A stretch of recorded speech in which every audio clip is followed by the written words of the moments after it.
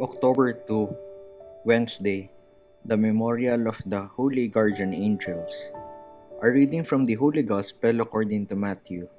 The disciples approached Jesus and said, Who is the greatest in the kingdom of heaven? He called the child over, placed it in their midst, and said, Amen, I say to you, unless you turn and become like children, you will not enter the kingdom of heaven. Whoever humbles himself like this child is the greatest in the kingdom of heaven. And whoever receives one child, such as this in my name, receives me.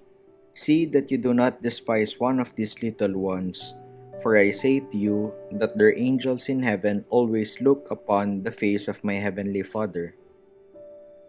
The Gospel of the Lord. Unless you turn and become like children, Jesus requires his disciples to have the characteristics of children. He is talking to adults who can still be formed to be childlike. By nature, children are open.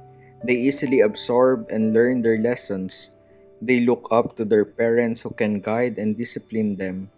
They easily forgive the wrong done to them, harbor no rancor, and restore friendship after fighting. The Gospel comes from a section in Matthew that deals with relationships in the community. His disciples are not just individuals, but Jesus considers them as a family, a community. Jesus wants everyone to enter the kingdom of God through the community that promotes his teachings. Other members can help develop faith and proper behavior befitting a community. Members should be like children who depend on their parents brothers and sisters, or relatives to grow not only bodily but also spiritually. No disciple is self made. One is also formed by the interpretations of the community that we now call church. Those who think they can manage to enter heaven by themselves without the community must think again.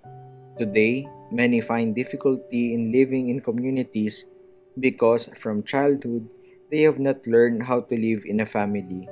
Nevertheless, the challenge is to be like children wherever we are.